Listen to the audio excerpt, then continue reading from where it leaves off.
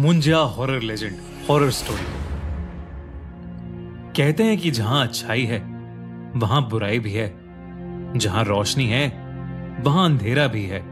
वैसे ही अगर देव है तो असुर भी। और आज मैं आपके लिए एक ऐसी खौफनाक असुर की कहानी लेकर आया हूँ, जिसे मुंजा कहते हैं।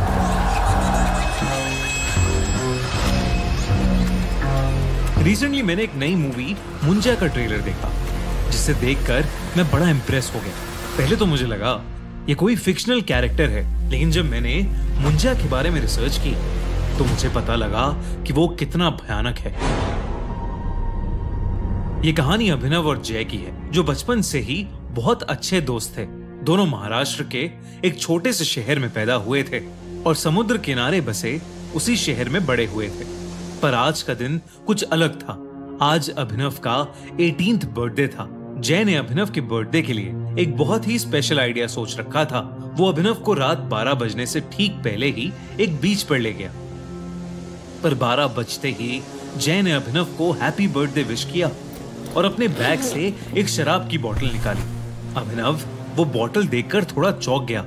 आज से पहले उन दोनों में से किसी ने कभी शराब को हाथ तक नहीं लगाया था। जय ने अभिनव से कहा कि ये उसकी बर्थडे सेलिब्रेशन का ही एक हिस्सा है। अभिनव भी अपनी लाइफ में एक नया एक्सपीरियंस लेना चाहता था। इसलिए उसने जय की बात झट से मान ली। वो दोनों समुद्र के किनारे काफ़ी देर तक बैठकर शराब पीते रहे। कुछ देर बाद जय को ज़ोर से टॉयलेट आ गया।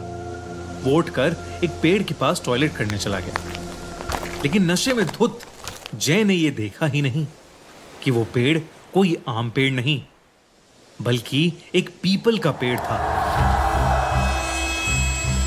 टॉयलेट करते हुए अचानक से जय के सर पर एक पत्थर आ पड़ा। जय ने पेड़ की तरफ़ सर उठाकर देखा तो उसे वहाँ कोई नहीं दिखा। इतने में अभिनव भी उस पेड़ के पास आ गया।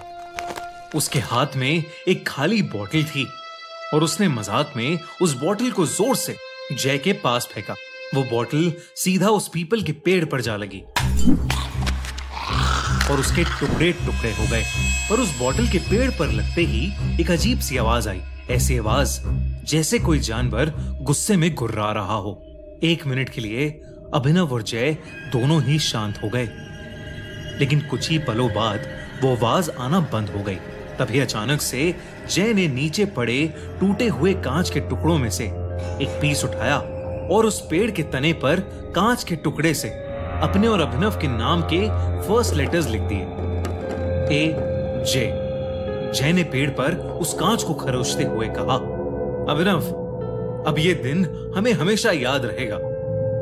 उसके इतना बोलते ही मैं आपको एक इंटरेस्टिंग सा स्टैट बताना चाहता हूँ। हमारी कहानियाँ देखने वाले 80 परसेंट लोग ऐसे हैं जो हमारी वीडियोस एंजॉय तो करते हैं, लेकिन उन्होंने हमारा चैनल अभी तक सब्सक्राइब नहीं किया है। अगर आप उन 80 परसेंट लोगों में से हैं तो बस आपको एक छोटा सा काम करना है। इस वीडियो के नीचे आपको एक सब्सक्राइब बटन दिख रहा होगा। बस उस सब्सक्राइब बटन को दबाना है। बस, इतना सा काम करना है आपको।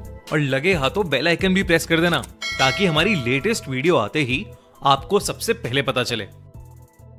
उस पीपल के पेड़ की डालियाँ ज़ोर ज़ोर से हिलने लगी और कुछ ही सेकंड्स में एक बड़ी सी टहनी सीधा आकर जय के सर पर गिरी और जय वहीं बेहोश हो गया। ये देखकर अभिनव का नशा मानो एक सेकंड में चूर हो गया। वो जल्दी से जय के पास गया और उसे होश में लाने की कोशिश करने लगा। तभी अभिनव को अपने पीछे से एक आवाज़ आई। मानो पेड़ से कुछ नीचे गिरा। अभिनव ने जैसे ही पीछे मुड़कर देखा, उसके पैरों तले ज़मीन खिसक गई उसके ठीक पीछे एक काली सी परछाई थी, जिसकी दो नीली आँखें अंधेरे में चमक रही थीं। अभिनव को अपनी नज़रों पर विश्वास ही नहीं हो रहा था। अभिनव को लगा कि जो भी उसके पीछे है, वो कोई ना कोई सुपर नेचुरल क्रीचर है।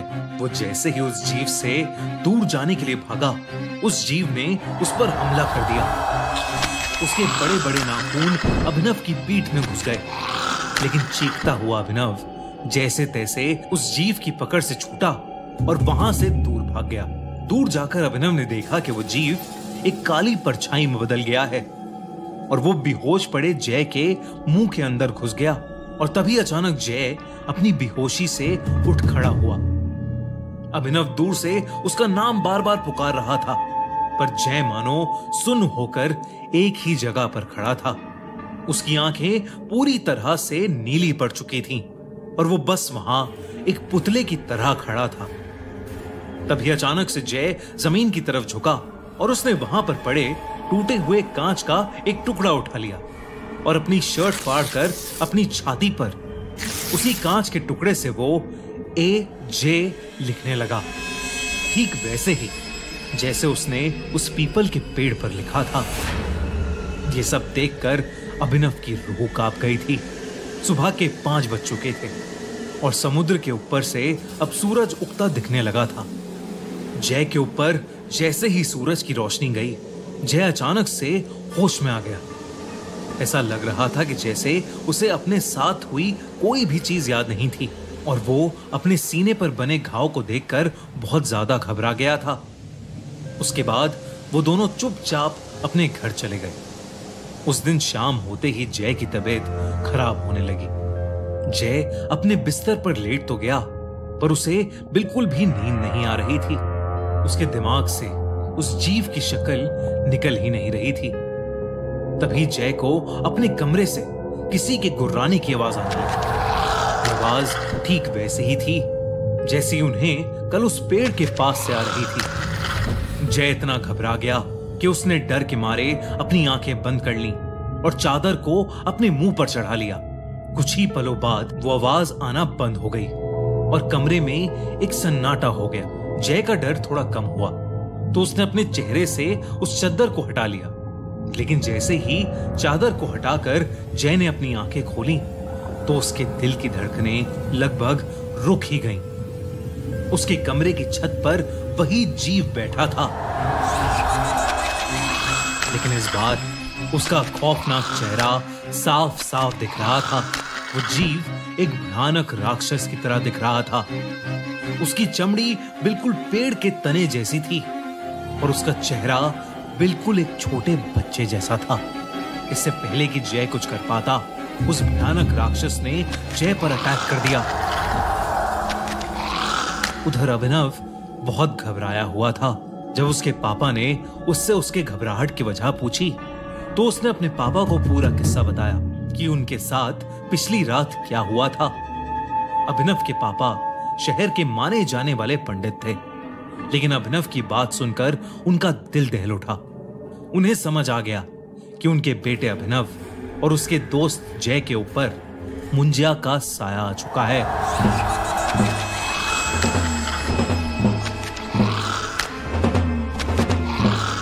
उन्होंने बताया कि मुंजिया एक ऐसा असुर है जो एक बार पीछे पड़ जाए तो पीढ़ियों तक पीछा नहीं छोड़ता। जब कोई बच्चा अपने मुंडन के 10 से 14 दिन के बीच किसी वजह से मर जाता है तो उसकी आत्मा मुंजा बन जाती है। मुंजा एक गुस्से से भरे बच्चे की तरह होता है और पीपल के पेड़ पर रहता है। और अगर कोई उस पीपल के पेड़ से छेड़खानी करे तो वो उस इंसान के पीछे पड़ जाता है। उन्होंने उसी वक्त अभिनव और जय को लेकर उस पेड़ के पास जाने का डिसीज़न लिया। रात को अभिनव और उसके पापा जय के घर पहुँचे, पर वहाँ जो उन्हें दिखा, उस पर किसी को विश्वास ही नहीं हुआ।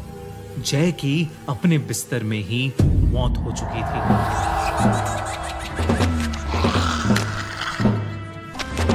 उसके चेहरे पर ऐसा एक्सप्रेशन था, मानो मरने से पहले उसने अपनी मौत को करीब से देखा हो। अभिनव के पिता ये देखकर चिंता में आ गए। वो अभिनव को लेकर फ़ौरन उस पीपल के पेड़ के पास पहुँचे और अभिनव के पिता ने उसी समय उस पेड़ के सामने एक छोटी सी पूजा करके उस मुंजा से हाथ जोड़कर माफ़ी मांगी। वो कई घंटों तक पूजा करते रहे और उस मुंजा से माफ़ी मांगते रहे। जैसे ही सूर्य उदय हुआ, वो दोनों अपने घर वापस आ गए। उस दिन के बाद से अभिनव को कभी वो मुंजा नहीं दिखा। लेकिन अभिनव ने अपने सबसे करीबी दोस्त को खो दिया था। आज भी अभिनव शराब को हाथ नहीं लगाता और रात के समय पीपल के पेड़ के पास से कभी नहीं गुजरता।